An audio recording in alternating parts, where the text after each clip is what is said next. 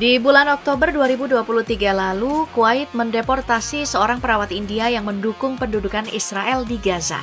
Melalui status WhatsApp, perawat ini menyebarkan dukungan dan solidaritas untuk Israel, menggambarkan warga Palestina sebagai teroris, dan menampilkan bendera Israel. Tindakan berani ini dipuji oleh banyak pihak mengingat kedudukan Kuwait yang langsung berhadap-hadapan dengan Israel, anak emas Amerika Serikat yang dulu membantu membebaskan Kuwait dari invasi Iran. Nah, apakah kini Kuwait sudah semakin kuat? Yang jelas, 30 tahun lebih setelah Perang Teluk, Kuwait kini menjelma menjadi salah satu negara dengan kekuatan militer yang menakutkan di Timur Tengah. Negara ini bahkan mendapat predikat sebagai salah satu yang paling profesional di Timur Tengah, di mana tentaranya terlatih dan diperlengkapi dengan baik. Jadi hari ini tentu saja akan menjadi lebih baik kalau kita membahas kekuatan militer Kuwait dari segala sisi.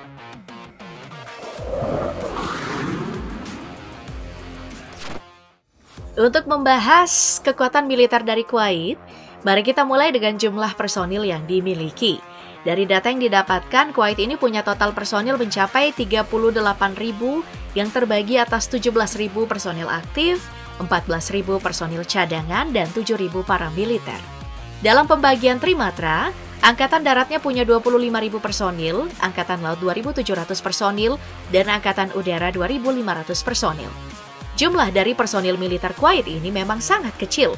Jika kita coba bandingkan dengan negara tetangganya Arab Saudi, perbandingan tentaranya itu mencapai hampir satu banding 10, di mana Arab Saudi memiliki 350 ribu personil. Untuk menutupi perbedaan jumlah yang signifikan ini, Kuwait membuat personil militer mereka matang dalam pengalaman. Dalam sebuah rekaman, personil militer Kuwait bahkan harus menghadapi latihan yang mengancam nyawa. Bukan cuma itu, Kuwait juga menyediakan kerjasama militer untuk latihan mereka. Contohnya saat bersama Inggris, tentara Kuwait belajar soal penggunaan drone dan strategi perang modern. Kemudian ada juga latihan bersama dengan Amerika Serikat, di mana tentara wanita Kuwait belajar penanganan medis ekstrim saat perang. Jadi memang Kuwait ini sangat serius untuk menutup kekurangan jumlah yang mereka alami. Nah, untuk memperlihatkan kecakapan militer Kuwait, Negara ini memiliki pasukan khusus yang bernama Kuwait 25th Brigade yang beroperasi sejak tahun 1960. Satuan khusus ini telah berjuang dalam Perang Teluk dan juga menjadi salah satu satuan paling bisa diandalkan dalam misi kontra teroris global hingga sekarang. Jadi, dari personil militer Kuwait inilah kita bisa belajar kalau proses emang gak pernah ngehianatin hasil. Selain memiliki personil militer yang sedikit, Ternyata bagian keuangan di bidang militer Kuwait juga minim. Dari data yang didapatkan, Kuwait cuma memiliki 8,17 miliar US dollar atau 122,5 triliun rupiah. Angka ini sangat kecil jika kembali dibandingkan dengan Saudi Arabia yang menggelontorkan dana mencapai 46 miliar US dollar atau 688 triliun rupiah. Jika dihitung dengan seksama, perbandingan budget militer antara Kuwait dan Arab Saudi mencapai lebih dari satu banding lima.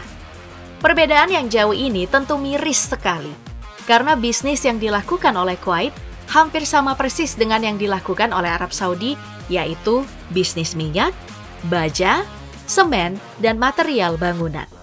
Sedikitnya dana militer yang dimiliki Kuwait diasumsikan datang dari ruginya negara ini saat proses dan pasca Perang Teluk. Ya, inilah nasib buruk yang jadi beban korban perang. Nah, uniknya, meski budget militer Kuwait ini sangat rendah, negara ini menjadi negara dengan pengeluaran per kapita tertinggi di dunia. Kuwait setidaknya mengeluarkan 1164 US dollar atau 17,4 juta rupiah per kapita Hal ini tidak lain dan tidak bukan disebabkan oleh sedikitnya populasi dari Kuwait itu sendiri.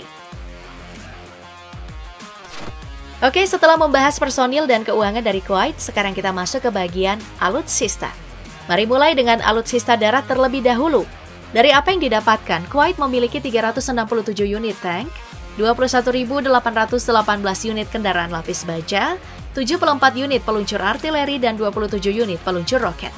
Jumlah ini cukup mengagumkan untuk negara yang baru pulih dari perang. Dari semua alutsista darat yang dimiliki oleh Kuwait, ada fakta menarik di mana Kuwait ternyata menjadi langganan bisnis Amerika dalam pembelian alutsista. Setidaknya ada tank tempur utama M1A2 yang harga satuannya mencapai 8,92 juta US dollar atau 133,4 miliar rupiah. Kemudian ada juga mobil lapis baja M113A2 yang punya harga satuan 2 juta US dollar atau 19,9 miliar rupiah. Lalu ada juga Humvee sebagai kendaraan serbaguna dengan harga satuan 220 ribu US dollar atau 3,2 miliar rupiah. Jadi bisa kebayang dong gimana untungnya Amerika yang pernah berperan untuk kemerdekaan Kuwait. Apalagi di tahun 2022 kemarin Kuwait baru saja membeli sistem pertahanan udara NASAMS dari Amerika Serikat dengan harga 3 miliar US dollar atau 44,8 triliun rupiah. Alutsista ini bisa menghalau dan menghancurkan objek terbang di jarak 50 km menggunakan roket berkecepatan 4.770 km per jam. Pembelian ini sama dengan semangat militer Kuwait yang bersifat defensif dan tidak setuju pada agresi militer. Menjadi langganan dengan Amerika, ada satu privilege yang kemudian didapatkan oleh Kuwait, yaitu akses ke sekutu Amerika. Hal ini dibuktikan dengan kemampuan alutsista udara Kuwait yang secara eksklusif mendapatkan Eurofighter Typhoon yang merupakan jet tempur andalan dari NATO.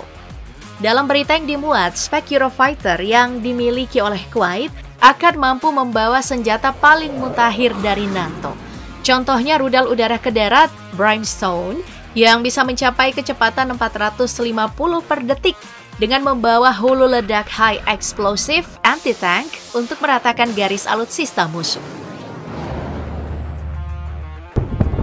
Kemudian ada juga peluru kendali jelajah Storm Shadow yang mampu menjangkau target hingga 550 km dengan membawa hulu ledak mutakhir Roach Penetration yang diklaim NATO mampu menghancurkan bangunan strategis dengan mudah. Selain membawa senjata mutakhir, pesawat ini juga ditingkatkan pada bagian radar, sistem siluman, dan juga kemampuan mesin. Dengan peningkatan ini, kita bisa bilang kalau Eurofighter milik Kuwait sudah overkill. Eurofighter Typhoon maha canggih tadi kemudian melengkapi alutsista udara milik Kuwait yang telah memiliki 33 jet tempur, 21 pesawat misi khusus, dan 76 helikopter. Setelah membahas alutsista darat dan juga alutsista udara, kita tinggal masuk nih ke alutsista laut.